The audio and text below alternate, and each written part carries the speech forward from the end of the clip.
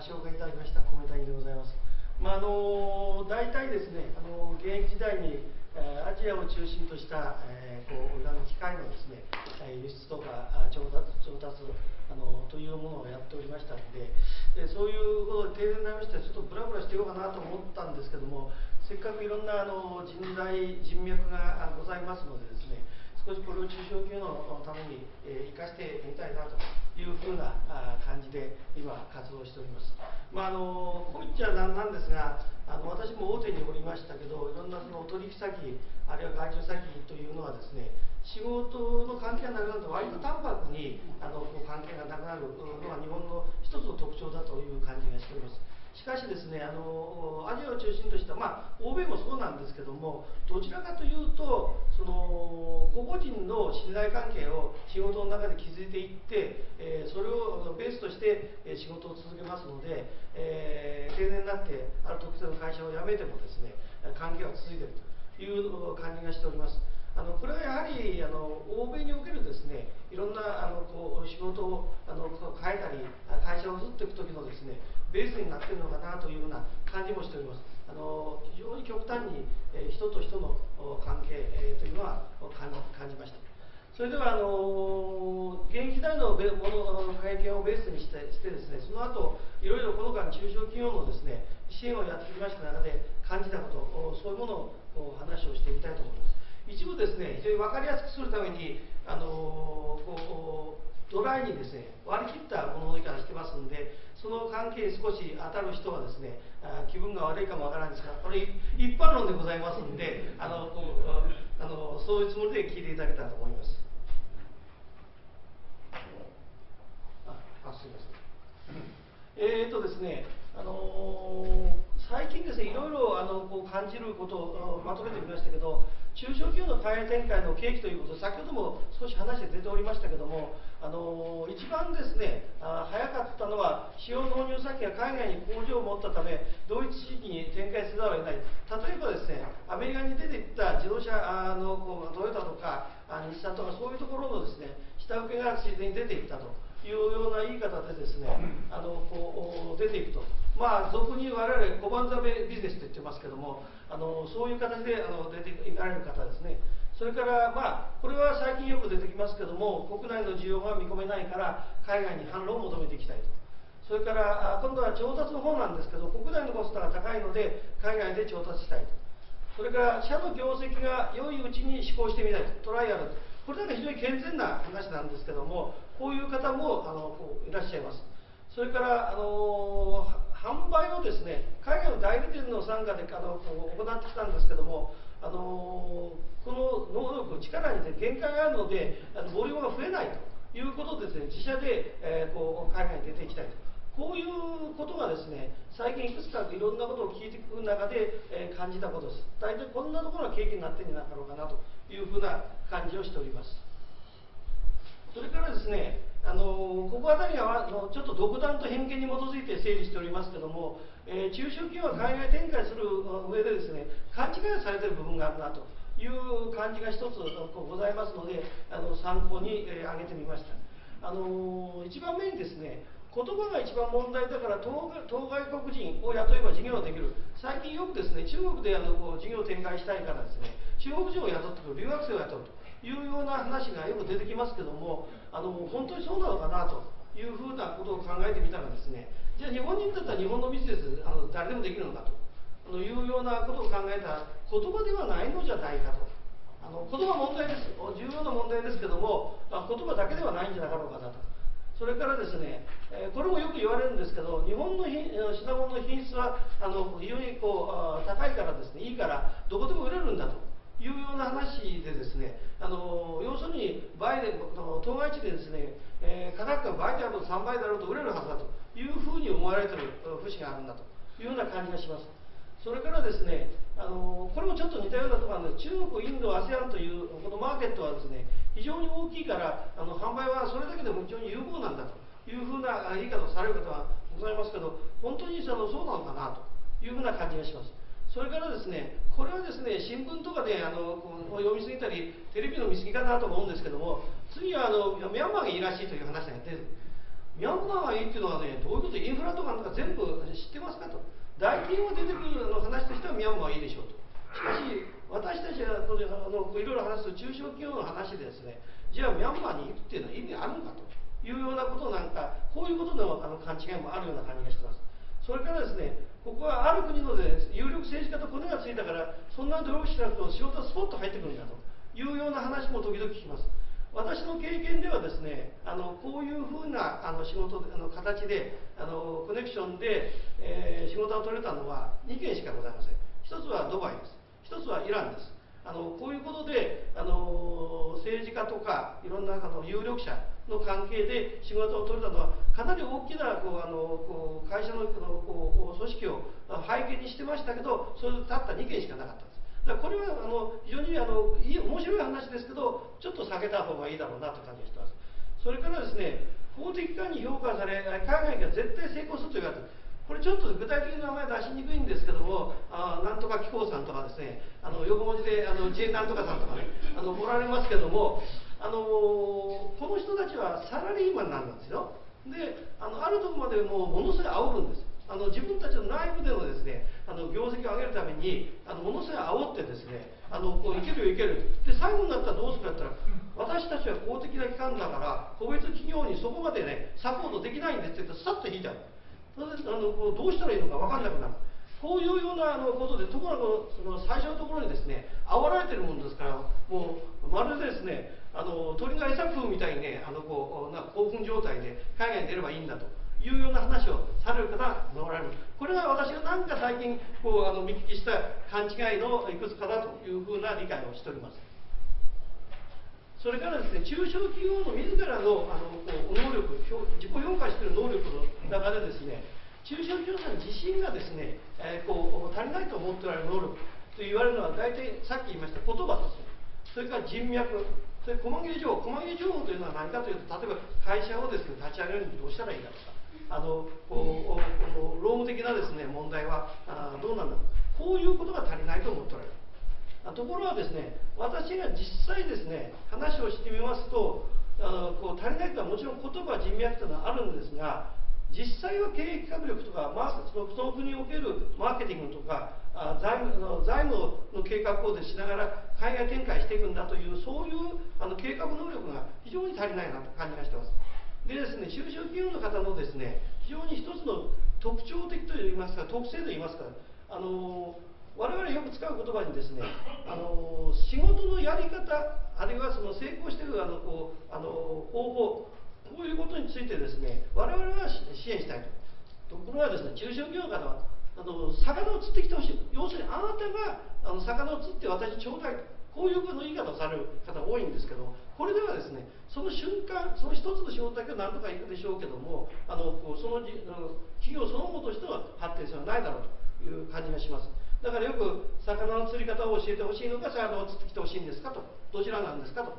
聞きますとあの首かしげられる方がおられますね。で私もですね後でまたこうあの触れることがございますけども実はですね海外展開ややろうとした時にあるビジネスがでそのビジネスそのもののあの海外の成功性って非常に疑問があってあのこうあの実はそのある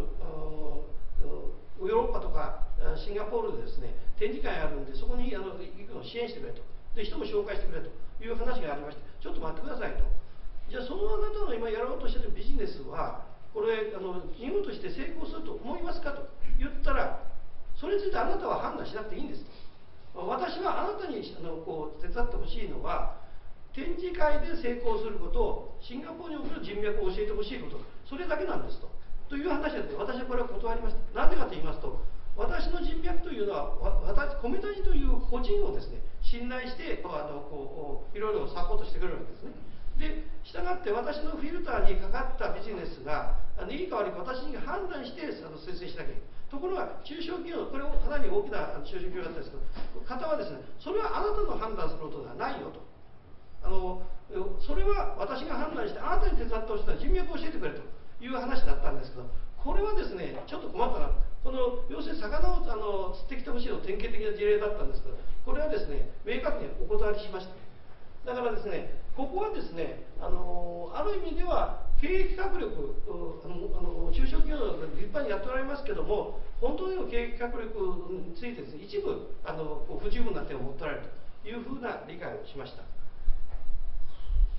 それからですね今度は NPO の認識の策のところを書いておりますけども海外のこう支援海外の活動のサポート中小企業に対してですねやられるときにあのこうちょっとねこれも勘違いすることがあるなというところがあるんですが海外展開者をこうサポートするためのあの人の一般的キャリアというのはですね海外勤海外勤務の経験が長いと。あるいはです、ね、外国の能力がこう堪能外国が堪能であると。現地に人脈がある程度あるよと。ということなんですけども実は非常に大きな組織をバックアップで仕事をしてきた。その最先端にいるわけですね。あのいうことがこうあの十分に理解されている。それから大企業という金看板で仕事をしてよくあのあるの私なんかもちょっとですねそういう傾向があるんですけども現役の時これだけ言っても言ったらもうみんなあのこう集まってきてあのこの仕事をやろうあのああいう仕事をやるとあれしたんですけども全然そのこう卒業してしまうとあの看板なんかないですからそこはさっき言いましたよっぽど親しくなる個人だったら別なんですけどもあはい。あの別なんですけども、あの一般的にはなかなかこうあの OB になってからはうまくいかないなと。でここで言いたいのはですね何かというと海外の勤務経験した人のですねあのこう海外勤務経験の外交能力というような話のこう強調しすぎし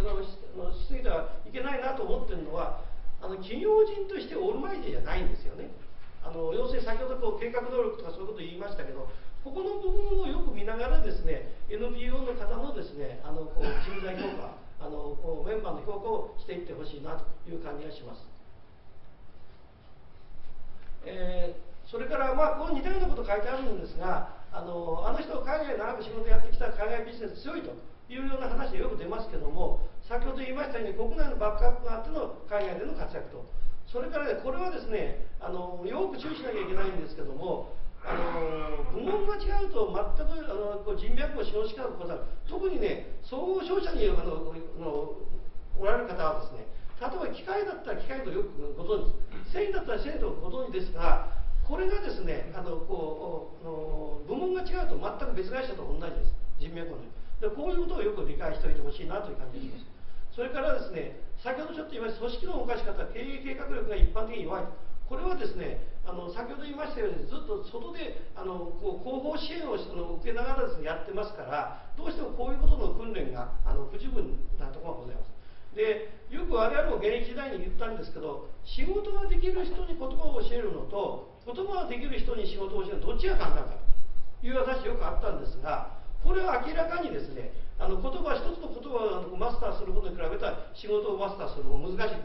だからあの要するにあの言葉とかですね現地にその長くいたことを過大に評価しないようにしてほしいなとこれは NPO があのこう中小企業をですね支援するときにどういうあのこうコーディネーターを集めてくるかという時の一つの見方として注意していただきたいなというふうに思います。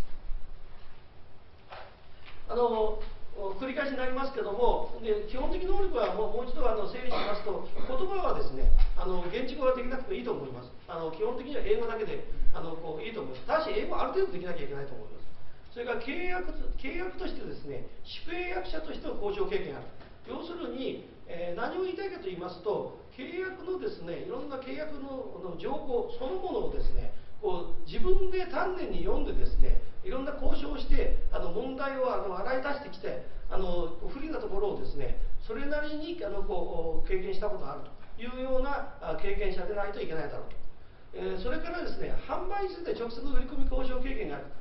これは何を言いたいかと言いますとですね例えば家電なんかでですねよくあるんですがそこの国のですね大手のあのこうネットワークを持った販売ネットワークを持ったあのところとですねどんとこの販売契約を結ぶというようなことがございますね。でこれはですね自分であの販売ネットワークを作ったわけじゃなくてあの人の借りたわけです。ところが中小企業は自分であの海外展開しようとするとそんなところと契約できませんからあのこうやっぱり直接ですね販売ネットワークを作るなり小さくなってもですねそれセットアップするというようなあのこうことが出てきますからそういう意味であの直接の売り込み系のこう交渉した経験があるというふうなことが必要だと思います。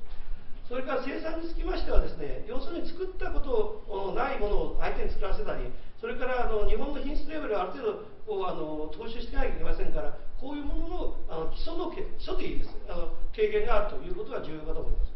それから通関というのは、これまたあのなかなか国内では当然出てこないんですと、まあ、友人でもやらない限り出てこないんですけどこれも厄介なことは結構あのありますんで、自分でやる必要はないんですけど、業者を使っての経験、要するに痛感ってどうもあのこの辺が問題らしいというツボみたいなものをですね感じた経験がある。こういうあの能力が必要かと思います。それからちょっと先ほど言いましたけど総務の労働法の適用経験例えば現在タイではですねあの1人のあの日本人を向こうであのこう従事仕事従事させようとすると4人のローカルがあのタイ人を採用する必要があると。それからあのマレーシアとかインドネシアブミフトラ要するにあのこうのローカルスタッフを採用しなきゃいけないというそういうようなこう決めがありますね。それから日本から出張していった時にあの会員をしててもですねあのいわゆるビジネスの会員をやっていったら踏み込まれてですねあの国外退去を要求されたりすることもある。まあここで言いたいのはですねこういうことを全部能力としてあるのかといったらそんな一人では絶対能力が、ありません。だから我々はですねやっぱりあの複数人で対応する必要があるだろうという感じがしてます。あの他のですね団体で1人か2人ですね、えー、海外経験があるからということで何でもいらっしゃい何でもあの相談に応じますよという話があの時々見受けられますけどもあれはですね僕はちょっと傲慢すぎるなという感じがしてます。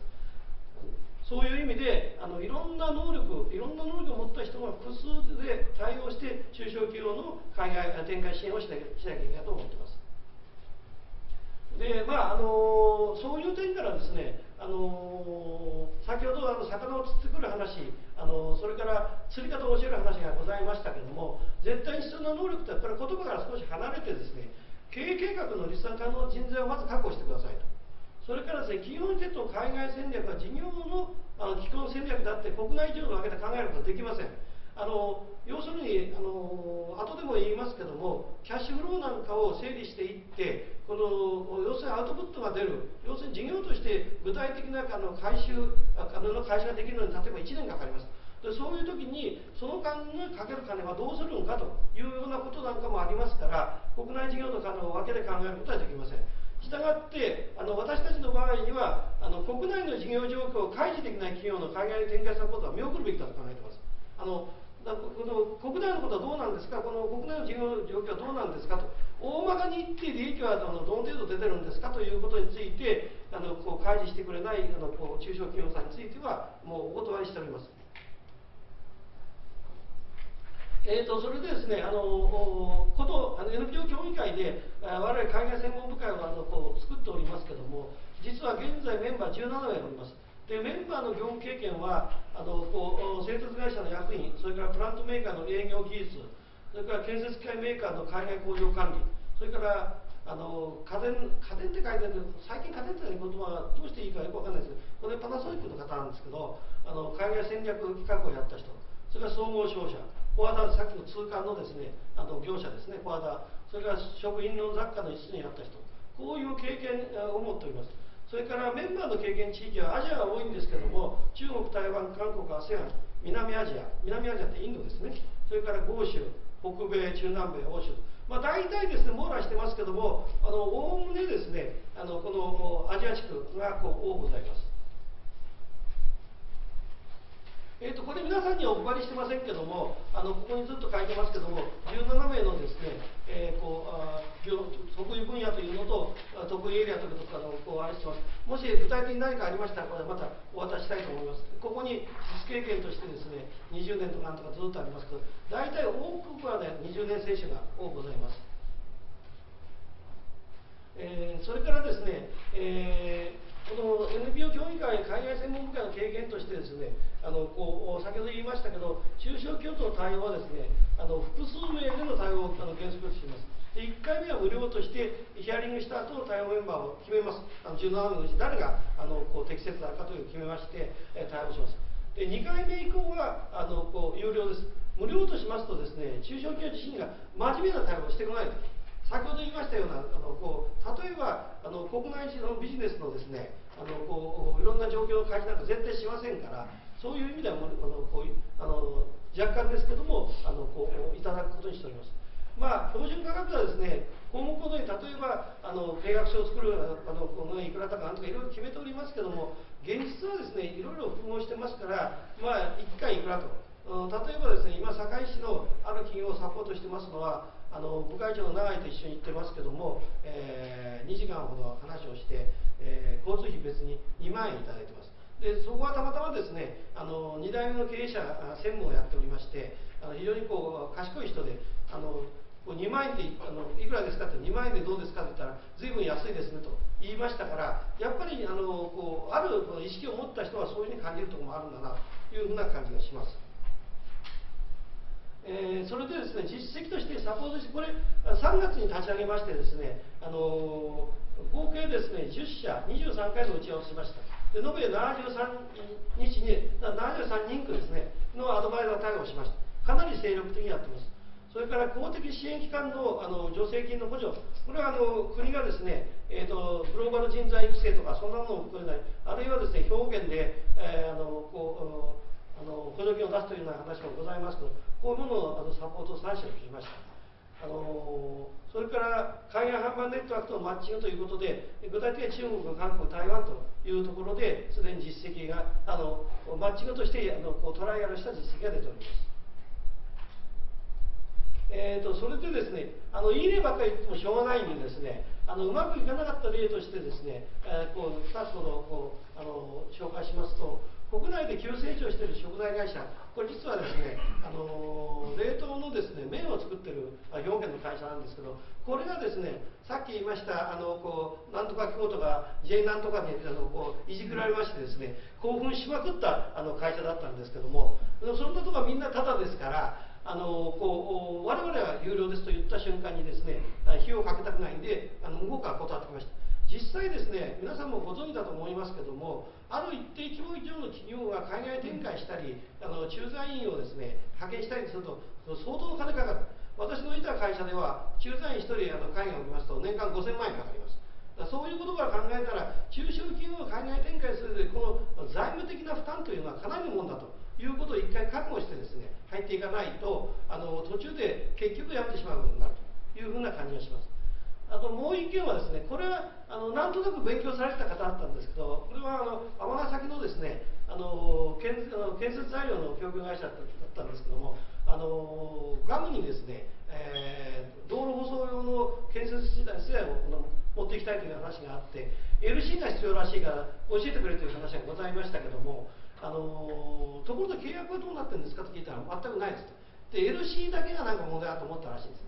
と違いますよと。LC っていうのは契約の一部を書き込んでいるあのものなんですよと。でしたがってあなた自身が契約をしたいというあのしようと思うことによって日本語でいいからあの書いてくださいと。いう話をしたんですけどその後全部そのものをやっぱもうちょっとこうあ検討しなきゃいけないなというあのこうことになりまして現在も整理中でございます。これこの後うまくいくかどうか分かりませんがちょっとこれはうまくいかなかった例として挙げさせていただきました。それでですね現在実施中の例としましてあのこう例を挙げさせてもらってますけどスポーツ用品メーカー。あのこれはですねあの具体的にはですね姫路のですね北側にある市川町というあの神崎区市川町というところにですねあの日本の刀鍛冶のあの技術を使ってですねあのゴルフクラブのあのアイアンヘッドのあの作ってるあのこうあ町があるんですけどそこの一番大手のあのこう会社ですがあの実はですねやっぱり営業力がなくて、えー、スポーツ用品企業の OEM あるいはね、海外でもあの海外のあのブランドでです、これもあの OEM ですね、ということで、受け身の事業を展開してみました。しかしですね、どうもですね、あのこうあの自分たちが事業としてやっていく上にですね、あのここれでは先がなかなか伸びていけないということで、自社ブランドであのアジア展開を図りたいというあのこう話が出てきました。でそのそれで先ほどの話じゃないですけどトータルとしてこの企業はですね、えー、事業を伸ばしていきたいという話ですから国内もある程度含めた事業計画をあの策定しましてあの数値的な目標を立てて具体的なアクションを今暗覚中でございます。えーと、それからですね、これちょっと言いました、あの堺のですねあのある企業ですけど、加熱装置用の部品製作メーカーでございます。でこれはですね、えー、使用納入先がタイにこう進出するんで、これに伴ってタイの工場建設をあの建設を要請されていると。でただし、タイだけではそれだけ十分じゃないんで、タイ以外のマーケットも視野に展開すべきかどうかということを検討しています。これは2013年4月、来年ですね、これに稼働する必要がございますので、実施アイテムを洗い出して、数値的な目標を立てて具体的なアクションを暗覚実施中ということです。で、この具体的には、創業者の息子ですね、専務が今日現在、タイに出かけていっております。えそれからですね、これ3つ目なんですけど、この神戸にあるあの老舗の化粧品メーカーでございますけども、これはですね、あの安い品物が大体のリーダーシップで中国で売られておりますけども、高級品を開発して中国 ASEAN での販売を伸ばしていきたいというあのニーズがございます。で現在中国の中国のエージェントとの間の契約問題があのこう詰まりきっておりません。でこれのですね解決してタンドネットワークを作っていきたいと。でこれもですねいろいろこうあのアイテムを出してですねアクションをあの具体的なアクションプランを作りつつあります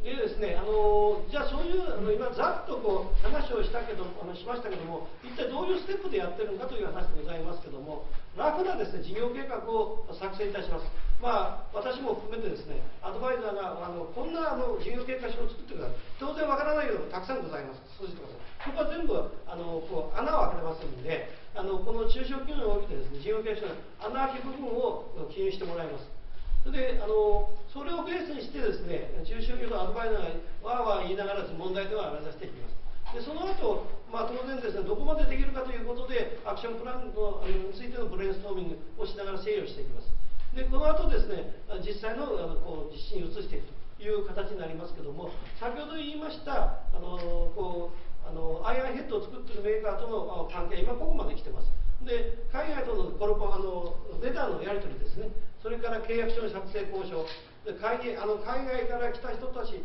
あるいは場合によって出かける時の会議の同席それから議事録を作ること。議事録を作ることというのはこれも後で出てきますけども契約をですねあの結ぶまでは議事録にサインをしてそれを契約書と同じような効力を発行するような形でですねえーと、こう事業を進めますんで、この議事録というのは単純な日本でいう議事録ではなくて、あの契約の一部を構成するというふうに考えていただいたらいいと思います。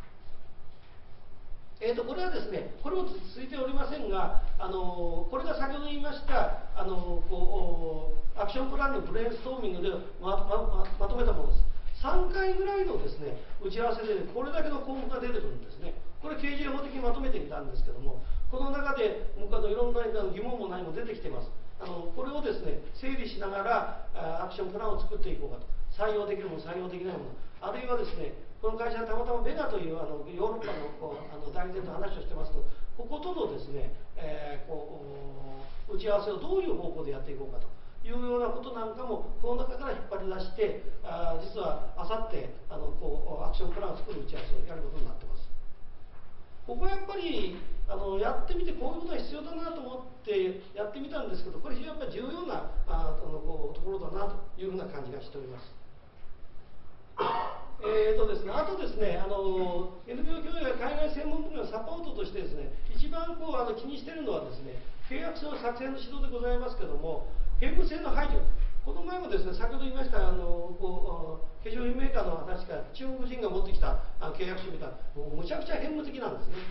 例えばそのあの在庫をあの中国持ってって在庫して売れ残ったらですねあの有料であのこうあの無条件で買い取ることとかねそういうあのこうあのことを書いてあったりするものですからこういう変無性をどうやって排除するか。それからですね当然当然のごとく彼ら総代理店あのの規定を入れてきますね。要するにそこ以外はあの中国の他の他社にですねあの売らせないというこの項目が必ず入ってきます。ところがですねあの中国人でもですねあの非常にこう最近は分かってきたのは総代理店契約は嫌だという会社も出てくるなんでかというとこれやっぱり日本でも非常にあの日本の方でもねうまく交渉している方がおられましてですねこれ具体的にはあの三浦というボイラーメーカーなんですけどそれがあの中国の安徽省にあるあの会社とですね話をしてそこの社長と話をしてますと総代理店の契約は嫌だと。なんでかというと売上目標を設定されてですねそれのフォローされると。そんなあの縛られるの嫌だという話がありましてあ中国人もそういうことを分かってきてるんだなということがあのこう私自身も感じましたんで総代理店契約をするときにはあのエリアをですね規定するとかあるいはですねあの売上目標をですねあのこうあの規定するとかいうようなことをやる限りにおいて総代理店規定は OK というようなあの指導をしています。それからですね英文契約の進めこれはですねあのよくですねあの新聞の中で出てますけど海外とですねあのこう契約した時に日本のあの日本語でもって日本の契約でもってあのこうあの住んでよかったという話があります。でしたがってその時には準拠法要するによってあの立つべきあの法律を日本の法律と書いてあるんですけどもこれよく考えてみてほしいのはですねあの実際ですねこう争いになった時、まあ、アービトレーションって僕ら言いますけど争いになった時に相手が日本に来て例えば大阪の裁判所まで出てくるやろうかとであの向こうがその争った時に日本語をその勉強するやろうかと考えたらですねそんなことありえんなと。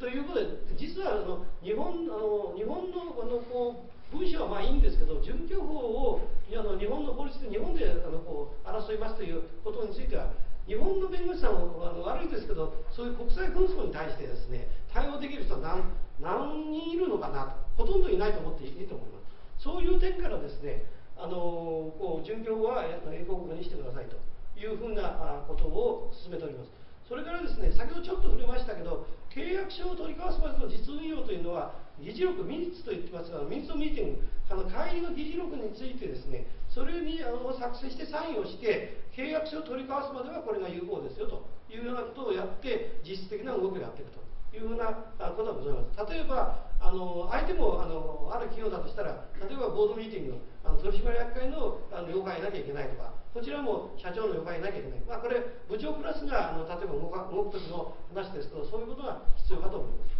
それからですね、相手が何か、これちょっと注意事項なんですけども、相手が何かを言ってきて、そんなの興味もないし、難しいこと言ってるから、あのほっとくわと言った言って放っておくとですね、相手はですね、このビジネスの機会を失って例えば半年な半年自分がビジネスをやるたの機会を失ったということで損害賠償されることがあります。これも私現役時代ですねあるアメリカにであの物を売る契約があったんですけども図面をですね1年間あの送らなかったことによってあの何億円かの賠償を請求されそれを払ったことでございます。だこれはですね要するにあの非常に注意してあのほしいことだと思います。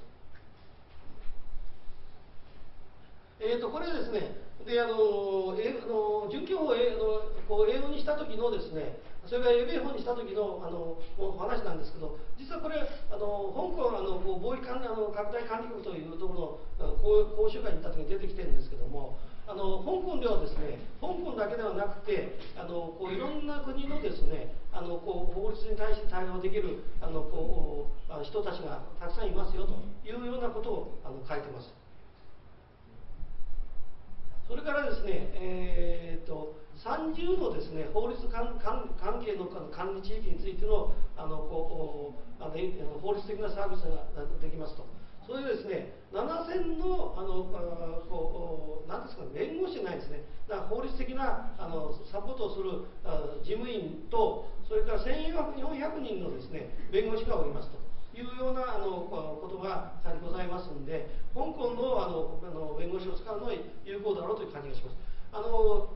値段はですねそんなに高くないというふうな説明がありました。それから日本人のですねあの方もですね結構向こうに行っておりますんで、あのぜひですねそういう意味では香港をあのこう使ってもらったらいいと思います。それからですねあの余談なんですけども、あのこのあのえーとですね、あの香港のあの法律というのは、えー、あのイギリスの法律ではやっぱり長い間で取引においていろんな経験をあの積んできてますんであのやはり例えば中東地域なんかとの話をする時でもですねあの彼らは必ず準拠法はあのこう UK ローとイギリスの法律にもして香港の法律ではそういう手あのこう発展型ですからあの非常にか香港のあのこう弁護士はあのイギリスの法律にはあの精通しているとファミリアだというふうに理解していただいていいと思います。えー、それからですね、ちょっと話はあの変わりましてですね、アジアのビジネスネットワークの特徴ということでですね、をまとめてみました。人的ネットワークというのはですね、中国はですね、中国大陸、台湾、日本、韓国と、まあ、あるんですが、このこの大陸、台湾、日本、韓国がですね、各々はグループ化されて、情報があのこう非常に閉鎖的でですね、あのなかなか横に広がっていきません。で、あのこれを拡大していきたいというこうのを持ってますけども、まだそこまでいってません。それからですね、あの日本以外は縦割り分割がないと。これはですね、何かと言いますと、あの台湾人でも中国人でも金持ちはあの金持ち同士が友達であの業種を問わずにあのこういろんな事業を展開します。日本は例えば機械メーカーだとかあのた食品メーカーだとかなんとかそっちの縦にばっかりこう出てきますけども彼らはですねあのこうそういう意味ではあの要するにあの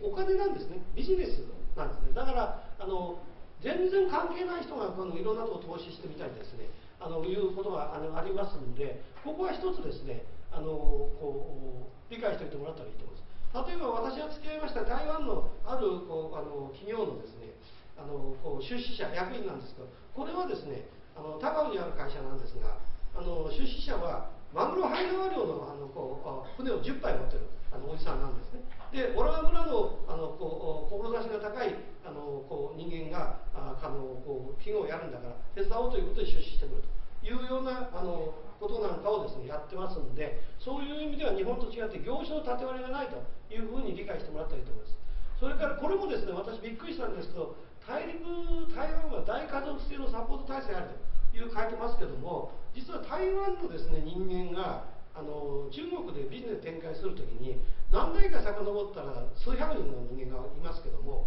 そういう人たちが集まってきますね。だからそこにやっぱりあの経済には壁がなくてお互いにこうあのサポートしちゃう。例えばですねあの私の経験した例では私のこう友人のあのないとこかはとか知らないの娘さんがあの蘇州でですねある旅行会社の支店長をやってるんですけどもあそこは全部社内請負ですから旅行をあのこう計画するとホテルなんかの前の前払い金なんか全部自分でやらなきゃいけないと。あの建て替えなきゃいけないでその金がないからということで私の友達が融資していると。これこれがですね大家族性要するに台湾出身の私自身の友達台湾出身なんですけどその中国の蘇州であのこう生活してる仕事してる人間をサポートしてる。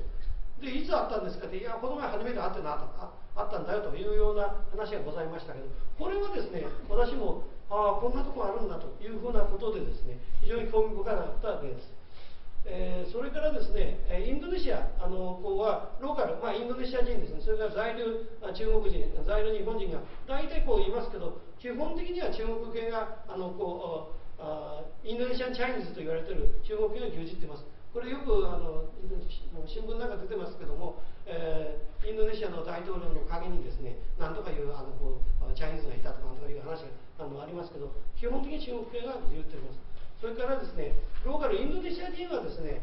日本に非常にあのこう好意を持つ、まあ、デヴィ夫人のあの功績も非常に高いと思いますけども、あのこう在留が長ければですね、あの信頼関係が比較的あのうまくいくなと、あのできるなという感じがします。でマレーシアはですねあのこうインドネシアと同様ですけどもただインドあのインド系が結構います。エネルギー関係はですねあのインド系の人がに担当させてますのでこれはあの政府からずっと下までですねあのこう仕事をです分割をやってましてあのインフラあのこうエネルギー系はですねインド人が全部牛耳ってます。でこのインド人というのはあのこう後から来たわけじゃなくてもともとですねゴム園にですねのの労働者としてあの連れられてきた人たちがそのまま残ったと。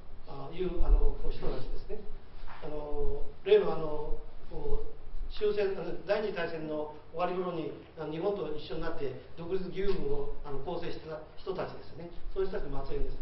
それからですねタイはですねあのリーチタイという感じがします。であのこれも大体中よく見ますと名前はですね中国系の名前です。ただしもう同化してしまってますのであのこう漢字は使えませんけども、えーまあ、非常にあの利益そのものはあるかないかだけであのこう判断します。それからフィリピンはですねこれはもう言いますと全く台湾経済です。というような、まあ、あの人的ネットワークとか情報をですね、一つベースとしてですね、あの頭に置いておいていただいたら参考になるんじゃないかと思います。それからですね、まあ、コアと情報のコアなんですけども、シンガポールでございますと、私もあのアジアでの中心に仕事やったときに、あるあの会社のですね、ジェネラルマネージャーから、あのともかくシンガポールには月1回行きなさい。あのアジアのインドネシアとかタイとか行ったら必ずあのシンガポールに行きなさいと。情報が全てここに集まってきますという話がございました。だから確かにそんな感じがします。シンガポールはですね、あのこの情報カバーは ASEAN 全部とインドとですね、オーストラリア、それから中国の大型都市案件ですよ。あのこう例えば蘇州でですねシンガポールがあの投資した大きな工業団地ございますけどああいう計画をしたりしますのであのこういうものも大体情報が集まってくると。それからですねそれよりあの西側ですねドバイですね。ここのやっぱり情報もものすごいであの中東の情報はあの当然なんですけどあの南アフリカとかですねケニアとかああいうところの経済的な情報というのもこのドバイに集まってます。それからですね東ヨーロッパあのこれもですねなんでか知らないけどもドバイに情報が集まってます。でこれは多分ですねシンガポールのドバイもですねファイナンスという点でこういうエリアをですねいろんな意味であのこうコントロールしてるんだというふうな理解をしてます。であの特にドバイなんかのアフリカの経済それから東ヨーロッパにおける経済のあのこう流れというのは少し注意するところかなというふうに思います。でまあ、あの対応としまして海外でも、ね、先ほど言いました中国人のネットワークが生きておりますからこのネットワークの中にどう入り込むかとあのここに入り込んでいるビジネスマンと接触できるかどうかということだと思います。よくですね、え海にいる日本人とですねを知ってるからそことあの仕事をやるんだという話がありますけどもこの人たちも実はここにですね入り込んでるわけですね。だからできることだったらあのこう自分が直接ここのネットワークに入り込む。あるいは入り込んだ人を NPO としてあのこうスタッフとして迎え入れると。いうようなことがいいんじゃないかなと思います。あのちなみに私自身はいろんなそのこうアジアで仕事をしてきた関係でですね私のネットワークはあのこう中国人です。あの日本人との接触はございません。えー、それからですね、これもちょっとあのあの変わった話なんですけども、環境エネルギーのローカルとの協まあ、その国のですね企業との協業でございますけども、狙いにつきましてはいろいろ言われてますけど、環境エネルギー関係のコンポーネントの現地でのこうあの受注ということですけども、先ほどちょっと後で言いますけど、熱交換器とかですね、あのいろいろなダクトとか、そういうものはたくさんございます、発電プラントなんかはですね。あのそういうことでですねあのここれを狙っていくのは一つの手だろうという感じがしますけどもあの実はですね政府案件が非常に多いんですが日本の援助案件というのはジェネラルアンタイドローンといいましてあのこの契約の中ではですね金は貸すとただし調達はですねあのどこの国のものでもいいとこれちょっとかなりアメリカにやられるんですけどね。要するにアメリカの GE とかですねそういうところが日本に金を用意させその仕事をですねあのこう自分たちがあのこうあのその金で仕事をやると。いうような仕組みです。これに対して中国、韓国のエンジニアではタイドローンと言いまして、これはですね、要するにあのそのあのこうローンを使う仕事については、中国、あるいは韓国、そこの国のものを使いなさいという条件がついてますから、あのこういう背景の中では我々はこれ入れません。それからこのでジェネラルアンタイドの経営の特徴というのはですね大体で現地生産について見積もり額のその現地生産分についての有利な評価をしてくれます。日本での政策に従ってですね日本の政策実績ノウハウを使ってあのローカルの企業と共同受注をしていけばですねこうあのあるあの仕事があるなという感じがします。これについて技術収録のための JICA のスキームなんかを使えばかなりあのこう派遣費用が小さくなりますので意味があると思います。発注側も輸送費なんかですねメリットが出ますので、あの喜んであのこう評価してくれると思います。えっと、これはですね、大昔ですね、あのこう大昔で、まあ、10年ほど前ですけど、あのインドネシアのですね、スラバヤの近くにあの140万キロワットの発電プラントを作った時のあのこう近くにあるあのこう国営造船所で作ったダクトです。それからですね、あとですね、あのあの日系のですねあの大工工場のあの経年設備小規模設備の受注ということを書いてございますけども実はあの中国なんかで工場を作るときエンジニアリング会社日記とか千代田とかそういうところがあのやるんですがあのその後ですね、あのこう増設を、小さい増設とか、あの設備の改善したしたりするのに対して、あのコストに合わないということで、エンジニア会社が放り出し放り出してしまいます。そういう意味ではですね、あのこうところがローカルには、あのローカル要するに中国の中国企業については実績がありませんから、非常にやっぱ困ると。で、ここでタイアップしてですね、あの実績ある日本企業の協業を図ればですね、あのこうそれなりの仕事があのこうやっていけるんじゃなかろうかなと。で、タンクとかタワーとか、あるいはそのちっちゃな動力機械ですね、こういうものについては話です。あのであのあとですね、中国のあの問題についてですね、欧米の技術と制服の関係で、あの要素技術、いろんなですね、まあ、積み上げがあります。で溶接技量もほぼ満足できるレベルにあのございます。それから材料はですね、ほぼ問題ないし、ミルシートも取れる状態になっています。であのこれもちょっと余談になるんですが、3年ほど前にですね行った時に、ちょうど日本のあの鉄板がですね、えーと、なんて言いますか、あのえー、トン10万円ぐらいしたことでありましたけども、あの頃にですね中国では大体トン5万だったんですね。あのそれで、あの日本のあのあの例えば成績業者なんか、あの足場とか、あのガタイとか、ガコールとか、そういうものをですね、あの随分あのここで買われてあのうまく使用された例もございます。でその時に私が行った時にですね板金物はですね工場出荷でですね大体材料費と同じ値段すなわちあのこうあのトン5万のですねあのこう材料とあのトン5万の加工費大体10万円だと。板金物でそんなふうに見てもらってもらったらいいよと。いちいちいちいち引き合いするなと。それで差し出してくれたらいいんだということを言われたことがございました。えっと、これはですね、あとちょっと動画をお見せしますけど、あの山東省のライム鋼鉄あの集団というもので、世界の大体、えー、5%ぐらいあの作ってる、あの程度の建屋鉄骨とか H 型を作ってる会社ですね。でこれはですね、あの上海のあのこうあの郊外にあります、熱交換業です。あとちょっと動画あのお見せします。でまあ、あの次回はですねあの先ほどちょっと言いましたアドバイザーが作成する項目と枠組みということで何かこう具体的な作業に準じたあのこうあの事例を紹介できたらなと思っています。それからあの先ほど言いましたあのアクションプランについてですねブレンストーミングをやったりそれからその後のですね海外のコルポン契約書のこういうものをですね実務的なものをですね提案できたらなと思っています。ただ最後にですね感じておりますのはあのー、我々17名でやってますけどそれでもねあの人数が足りません。あのこうあ中小企業トータルでサポートするのがですねあの足らないのでですねできればですねあのこの中小企業をサポートするあの NPO 海外的なサポートする NPO 相互がですねあの協業し合ってですねもう少し立派なですねサポートがしていけるようになったらなとこんなふうに思います。えーとですね、あの大体以上なんですけども、あのえー、ちょっとですね、先ほどあれを